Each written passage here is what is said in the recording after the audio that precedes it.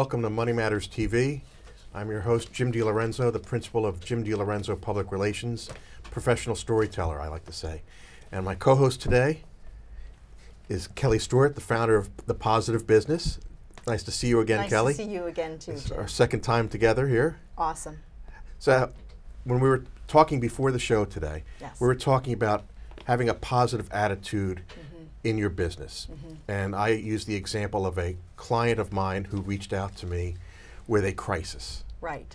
and uh, wanting an immediate solution to a crisis that may or may not be a real crisis other than in her mind at that moment. Right.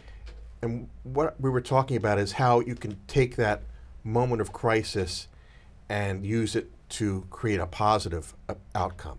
Absolutely. You can flip it. Right. Right. And I think part of the problem, and your client certainly would not be alone in this area, is that we have kind of been conditioned, right, to accept the status quo, and then when something comes up that doesn't it doesn't feel good, it feels Right. like a crisis, right? That's what we address. That's what we pour our energy into, and that's when we unleash our creativity, right? Our problem-solving skills, whatever those things are, and to take a more positive approach into your business would say, let's just every day build on our strengths. Sure. Let's every day use the best of what we have that make us unique in the marketplace, that help us get results in the marketplace, and let's apply that to finding opportunities, right? To building the proverbial Sure. better mousetrap. And I think one of the things that I found interesting in our conversation, the idea of, I've heard it before, where you say, instead of saying but, if, you say and also. Absolutely. And one of the things that you discussed is what if you could? Mm-hmm. What if you could do this? What if mm-hmm. you could do that? Or what's like the blue sky vision that you have for your business? Mm-hmm. Is that something that helps redefine uh, how you relate to your business? It really does in a lot of ways. And I think what you're describing in there is what we hear a lot from as prob- we're natural problem solvers Sure. people right and so what you hear a lot of if you are consulting with someone is i can't do this right i'm having a hard time we as service providers have been conditioned to identify a pain point provide a solution Right. this is good and in many times it's necessary but it leaves only, only it paints only part of the picture Right. right. and it leaves other opportunities on there which is to say well what when when things are going well what does this look like? And i think that's the greater opportunity for business leaders in general is to just take this how do we make it better? Right. how do we work? Right. A- And there's another thing that we talked about is the fact that, okay, you have positive things going on, Mm-hmm. things are going well, continue to build on that momentum so that that little crisis moment is much easier to overcome because you've had so many other positive things going on along the Mm-hmm. Way. Right.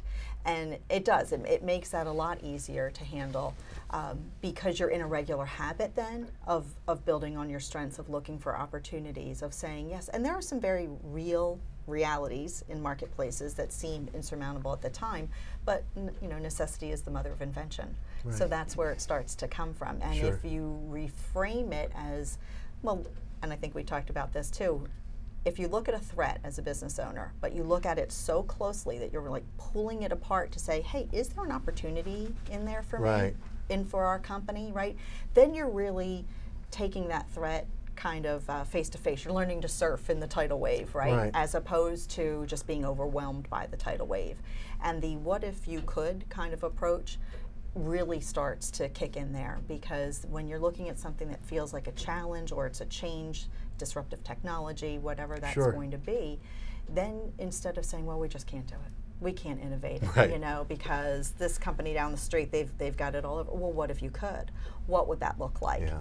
And I think that starts to open up that channel that gets closed off when in crisis mode, it's just about survival. Sure. Right? Basic human physiology. The brain gets activated. We're going into fear, fight, or flight, or freeze, and um, and those are normal things. And again, those things have to happen. It's what stops us from, you know, getting hit by a car. Right. You know, we have that fear of, oh, I'm not going to step in the road until I check the lights. But that shouldn't be the norm in business. I guess would be my point. Very interesting way to put it. Yeah. But um, I want to get to, uh, we have a viewer question, and this is right up your alley, Kelly. Okay. And um, it's a question from David Lotz of Philadelphia. Okay. And he asks, "What are some advantages of a positive business?" Mm-hmm. Now, it's kind of a broad category, Right. but you have an opinion on this.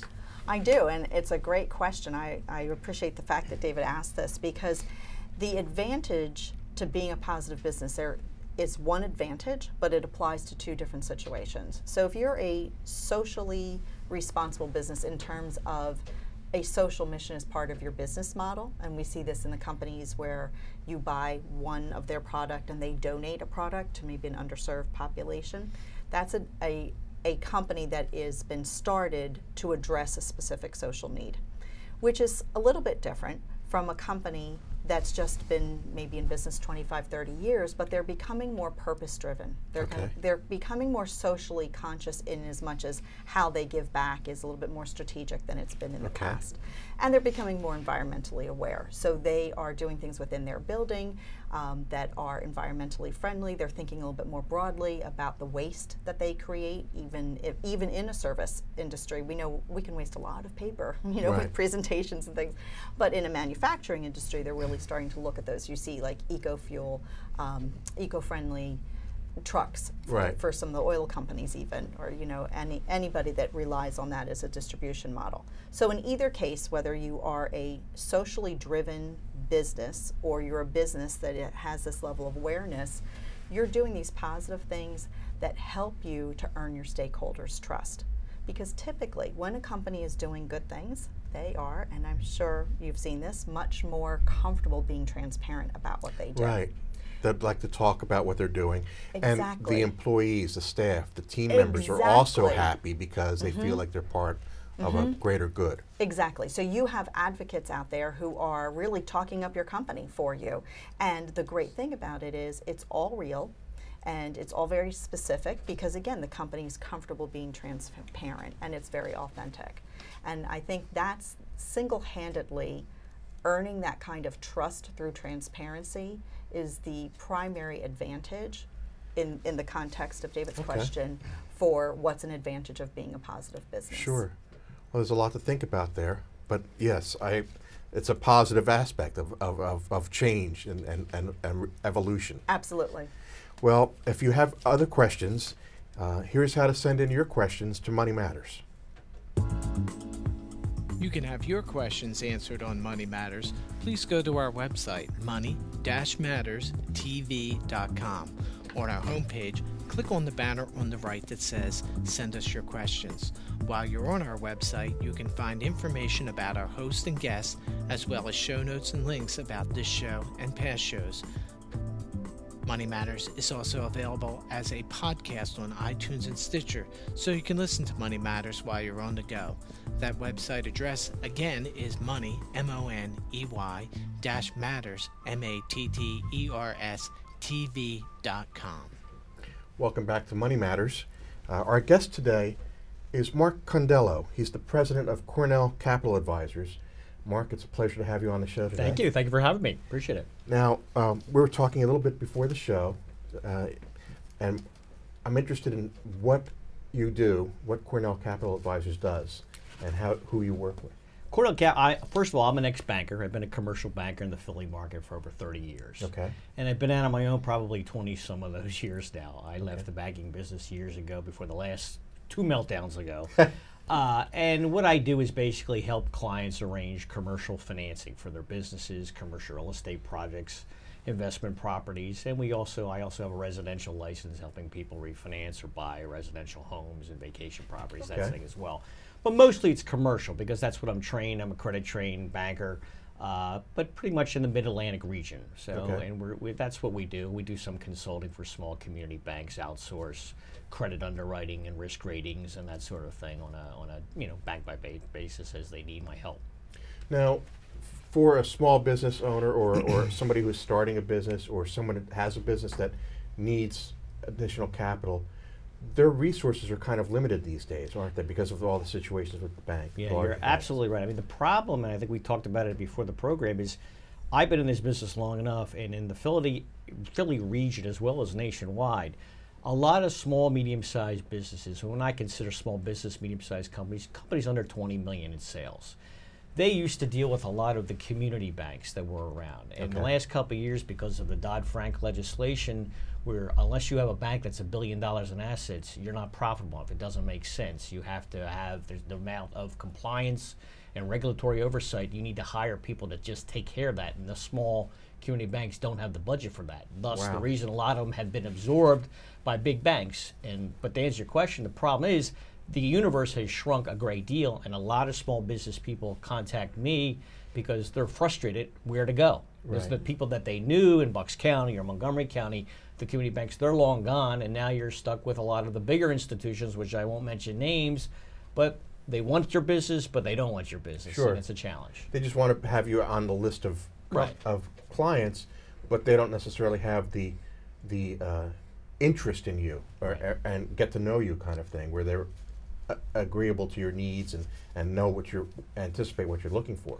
Well, it, as I said earlier to you, that the problem that we have is bigger banks, and I was, I've been told this by chairmen of some of the larger institutions here in Philly, that the regulators are telling them if you do a loan under $2 million, it's not profitable enough. You don't want to do that. And that's the backbone of small business people in this country. The average loan may be 500000 to Sure. a million and a half. If they can't get a bank to lend that money because they don't perceive they're getting enough, they're not going to bother. And that's why the little banks, that was their bread and butter kind of loans. And now them being gone, there's a void in the market. And I think there's going to continue to be a void in the market for this kind of thing. You mentioned an interesting point. I had a conversation earlier today with a gentleman who has started a business in the last six months, and uh, he, has gone out to uh, venture capital firms and uh, presented his business plan, and they tell him he's too small. Uh, he's only asking for a hundred thousand dollars, Right, or he's asking for hundred fifty thousand dollars. Right. No, we're not going to take a chance on you. Come back to us when you have that. Right, right. And Right. that seems to be kind of another gap in the market is people Yeah. who want to start a business, start it responsibly, Right. but aren't going to go after a multi-million dollar loan Right, right, or, right. or, or investment.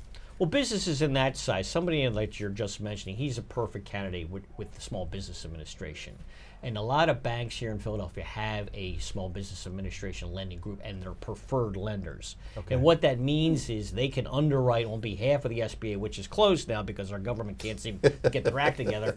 Uh, but they can underwrite and get approval with waiting until the government opens to issue a number for that loan. But that's how a lot of startup businesses, because bankers normally don't want to lend to a startup Sure. company. You have to have at least three solid track years of track record to lend to. But something like that, the SBA is the best way you're going to have a shot of getting a loan in that in that kind of size. But there's a lot of paperwork and a lot of uh, items that you're going to need to produce to, to get the bank to give you that kind of loan. It's an interesting conundrum. Yeah, it really is. It's a challenge. Yeah. So what happens when you then, if these banking decisions, these lending decisions ha- are being made in areas that are outside of Philadelphia, Well, that- right? yeah. Like how does that, when you think about community, right? You Yeah. wear my hat of a, Right, a right, responsible, right. socially responsible business. right. Certainly, different different communities throughout the country operate differently. They have different vibe, different needs, different populations. Right. How does that factor into the overall health of the community then? If these corporate lending decisions, no go, no go decisions are being made about what types of businesses are going to be in the Philadelphia area, how does it impact? It's that? a big impact because the benefit of the small, but when I would have a client that's looking for a loan and I would bring the president of a small community bank out, he's the head of the loan committee. He's Mm-hmm. Right. a decision maker. Right. Now I bring somebody out from a big Wall Street set Right. bank. They're going to come out, but it's 10 layers from the committee process, which a lot of them is approval. They can lo- approve it locally, but some, depending on the size of the deal, they have to go out of town wherever their, their bank is headquartered. It is a, it is a challenge at times because they may not know the area as well as the local banker Mm-hmm. does, and they have to get the approval from somebody that doesn't live and thrive in this area. So that's the problem with the big banks, in my opinion, and Mm-hmm. why the smaller banks are, were really a valuable, uh, you know, part of the community. There's still a good number of them here, which I deal with on a regular basis. But they're all looking for the writing on the wall that at some time when they get the right price, they're going to sell the bank because they have Mm-hmm. to, you know, provide for their shareholder value. But it's a shame that we're going to lose them because there's no new ones being formed, and the regulators don't want any new community banks being formed. It's too much to administer. Okay. Now- okay, thank you. That just answered a yeah, question. I was going to say. So, and um, when you see commercials or uh, hear advertisements for a thing like Kabbage Yeah. or, or some of these other online uh, loan Oh, yeah. operations, What are, what are the hazards that you deal with there? Well, number one, uh, unless I'm part Italian, that is like loan sharking in my uh, mind because you're paying. You have a vowel at the end of your name. Well, Yeah, yeah, exactly. yeah. So you're it, it is like you're paying in the twenty percent range. They're debiting your checking account every day for a loan payment. It's very expensive money. Wow. Now they're lending primarily. A lot of those groups are lending to people that bankers normally don't like to lend to: the contractors, the restaurateurs, high failure rate, turnover business. But a small restaurateur that needs to buy new kitchen equipment, he can't afford to wait ten weeks for a bank to get back to him. He's going to pay. Look, I'll pay it. I have to do it. I have no choice Right. it's not a long-term goal. I mean, there some of those firms are doing very well. Yes. you guys, you would imagine with the kind of pricing that they're getting, but it's not, you know, a sensible solution for uh, a, a person that wants to stay in business long term. I So don't what, think. It's, so what are some of the clients and customers that you're working with? What are some of the issues that they're facing right now, and, and how are you responding to them? How are you helping them out? well, as I say, the biggest challenge is just uh, the variety of where they can get capital. Uh, most of the people that I deal with are bank quality people that have had, you know, been around for maybe family, two or three generational family businesses. Okay. that are into the fourth generation now, and some have great relationships with banks that are still with us. But some, their bank was bought and rebought, and they don't know who their account officer is. It's a revolving door. Every time a new account officer comes out, they have to re-educate them about their business. Right. And it's not an easy process. So they want me to come in, like, who can we deal with that maybe is a little smaller? That I'm Okay. dealing with the senior management. They they know me. So if one lender leaves, I'm the president of the bank. The vice chairman knows me. It, there's a little bit more of a, a, a touch there that people can you know rely on. like a continuity Yeah, you know, the that there's something relationship, there, and uh, well, you're not you're never going to get that with the big banks. Mm-hmm. It just they just roll over people so much, and there's like I said, there's no loyalty in the banking industry mm-hmm. anymore. I mean, people move on and so they're frustrated internally. A lot of them, my friends say, "Oh, I'm just waiting to retire because there's just Right. that that there's no enjoyment in this anymore." Mm. So, unfortunately. Is there mm-hmm. any hope for the future on that? well, I think you know, I I think there's got to be innovation. I think there's going to be a way. There's a lot of other Wall Street conduit type lenders on the real estate side that are out there that are you know uh, providing commercial real estate financing. They're very in the box kind of lenders. It has to fit perfectly because it's Wall Street money and has to mm-hmm. underwrite properly. But I think somebody's going to wake up and figure that we can lend money to small business people, create a fund model, a mutual mm-hmm. fund model, lend money, get a decent return, and have. Because most of these community banks, everything they lend against, there's sticks and bricks backing it. You're going to pledge your house, you're going to pledge your vacation home, your commercial property. They're never going to do something on an unsecured basis. So you've got collateral backing it. Where a lot of these other lenders we talked about, they're lending on taking money out of your checking account, but you've Sure. got furniture and fixtures which are worth nothing in a liquidation mode. At least you have a building if you're doing some more mainstream kind of financing. what are some of the al- alternative commercial? Uh, Well, I think we touched on the Kabbages Right. as the people like that, the OnDeck, and some of these other groups. But uh, uh, there's also been a big push in the credit unions. We do a lot of stuff with the credit unions. yeah. They're they're very aggressive in the commercial lending world now. But years ago they weren't doing it.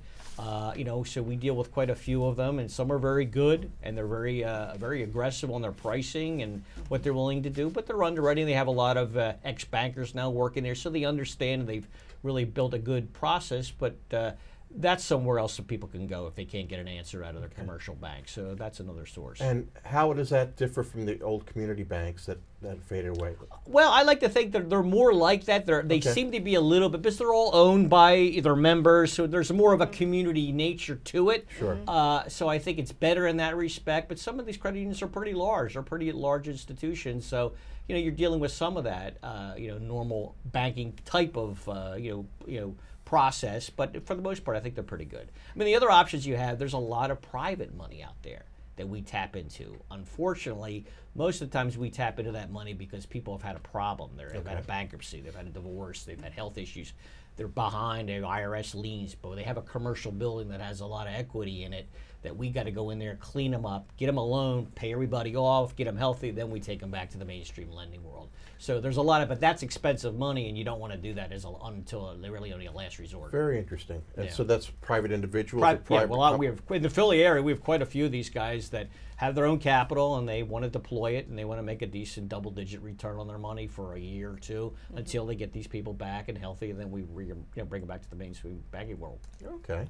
So when we look at the future Mm-hmm. of all this, this kind of landscape, um, a thought that came to my mind as you were talking earlier for these smaller community banks, what opportunity could there be? I, the model that came to my mind was the cooperative, Mm-hmm. right? And we see that with you know food cooperatives and things like that. But that's also a business model that's spilling into many other industries. Is that something that would be a uh, potential opportunity for the smaller community banks to kind of form a cooperative alliance so that they become that strength in numbers? Well, they have that. Basically, Mm-hmm. what they already do is what a little bank has a legal lending limit, and then once Mm-hmm. they go over that, they can participate with another bank. To- Okay. on a loan, so they ha- I've always had that relationship, but I unfortunately I put a lot of participations together in my career, and unfortunately I've seen one bank once they participate, one bank's trying to steal the other bank's deposit Oh. relationship, and Oh, so that's it, it- you know interesting. the, they're a client, but then they're bringing another bank in to help, and it doesn't always go as smooth as you would like it right, to. right. So it's not always the best idea. Right. uh, I don't think the cooperative thing on a pure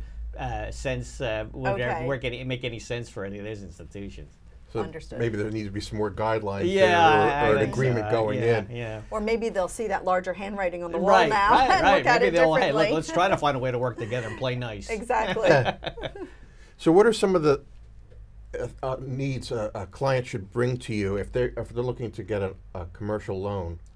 Uh, what type of information would they bring to you? Well, uh, you mentioned that uh, we waste a lot of paper, and we certainly do. And it is a very rigorous and intense process, even for the simplest of loans. I mean, sometimes I say underwriting a five hundred thousand dollar loan is, is is equally as difficult as doing a five million dollar loan. Wow. It's all about the paperwork. And if you're Yeah. an existing business, they want three years of your tax returns, personal, business, personal financial statement. They want to see, you know, uh, your securities accounts. They want to have your copy of your license. Uh, you know, they want to see what the overall trends of your business are. Maybe some projections of where you're going to be. If you own a piece of property that you want to refinance, if you have an old appraisal on that building when it was a couple of years ago, so they get some particular information about that property per se, well, until they order an updated report. So as much information as you can put together in a professional manner and sort of help them, give them a one-page summary as to what you're looking to borrow, Right. what the sources and uses of the fund are going to be used for.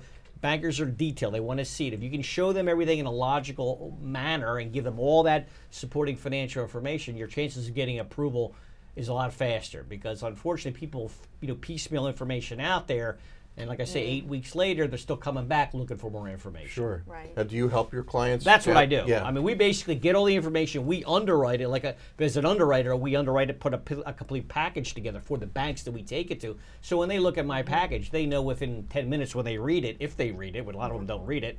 Uh, yes, this is a deal we should be able to do, and all the supporting financial information are along with it. well, that's Right. great. That's a great way to do Very it. Very valuable. Yeah. Helpful. And anymore, it really right. is a, it's a necess- it's a real need because people, like I said, they just don't have. They run your business. You understand what you do. I don't want to have five bankers out there. I don't know how they think. I don't have time. Right. You go out and let's narrow it down to one or two. Who's going to be my best source to help me finance it? And that's what Cornell really does. That's where That's we make great. our money. Um, wh- taking that into consideration, what are some of your long-term views for the commercial lending landscape in, in the in the Philadelphia market and the in the suburban Philadelphia market? Well, Philly's a good market right now, and I mean, I think we do a lot of real estate stuff, loans, construction loans here in the Philly, and I, you know, I worry a little bit that Philly's getting a little overheated with a lot of the multifamily buildings and with the tax mm-hmm. abatement situation, mm-hmm. whether they curtail that or not.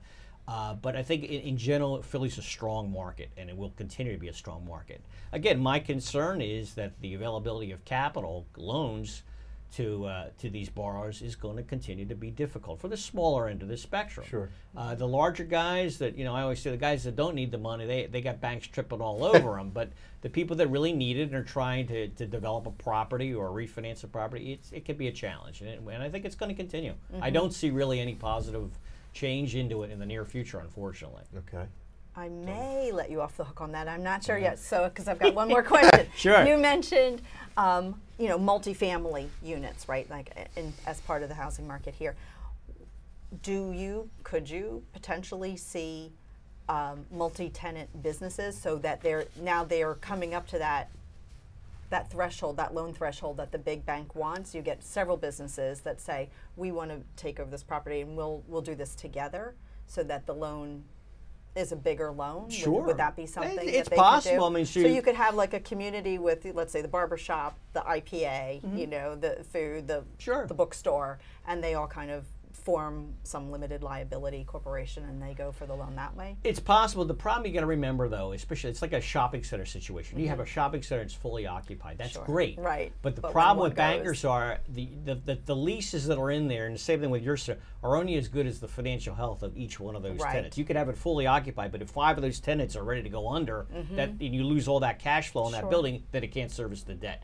So it's they it's yes it's possible but they're going to micro and look at every one of those people that's involved to the nth Right. degree that they all collectively could you know basically service the debt and that's not always an easy scenario Understood. Understood. I remember back to the late '90s with the, the tech incubators, where people would do a real estate Mm-hmm. Yeah, play where right. they have office space, Right. and they bring them all together, and then they, they do the, the lending in, in, in-house Mm-hmm. amongst them. all. But I don't know if that model would work in retail, say, or Yeah. commercial. I don't know. I don't Yeah. know. I don't know. I just, uh, but uh, no, we, we we we just see a lot of multifamily stuff right now because of, you know, the the the, uh, the millennials. So they don't really want to own a house. The old days of owning a home, it's not what they really want to do. That's why you're seeing all these gigantic developments being put up for multifamily. But uh, you know, we'll see how many of those they can fill over right. time. Right. Understood. So, thank you for, for telling us all that today, Mark. I appreciate it, and I think the, um, we really enjoyed having you on the show. Absolutely. And um, I wanted to ask you one, one last question. I'm fascinated by how people start their businesses. So, you were in commercial banking. You were in the industry. You decided to start your own business. What was the what was the tipping point? What was the point at which you said, "I've got to start my own business"? Well, when I was with, and I won't mention the name of the bank I was with, uh, my boss came into my office and he gave me a list of about 20 commercial clients that were mine that I was managing. And he asked me that we're going to kick these people out of the bank, tell them we're calling their credit lines, and we're here. And these are people that were, were in the bank for many years, were profitable, but the bank was going through a merger, and they didn't like their industry or these ridiculous reasons that they came up with.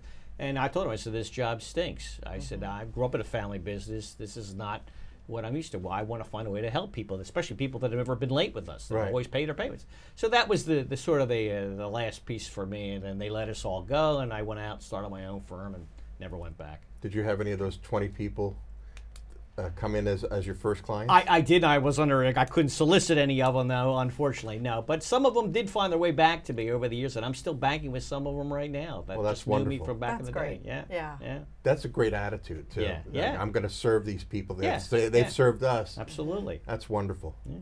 Well, thank you again, Mark. I Thank you for having it. me. Appreciate it. Next week on uh, Money Matters, our guest will be Lisa Smith, the president of J.A. Moody.